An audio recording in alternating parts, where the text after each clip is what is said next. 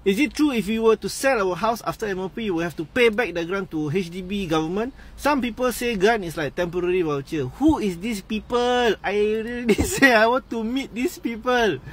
Okay, no need, no need to give back. No need. The grant is yours to keep forever and ever. Unless you buy new from HDB. You buy BTO, uh, you buy sale of balance flat, then you need to pay resale levy in cash. That one in accordance to how many room your first HDB is.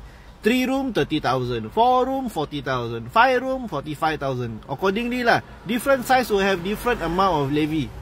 But no need to give back grant. Huh? So example, you got $100,000 grant the first time you get $100,000.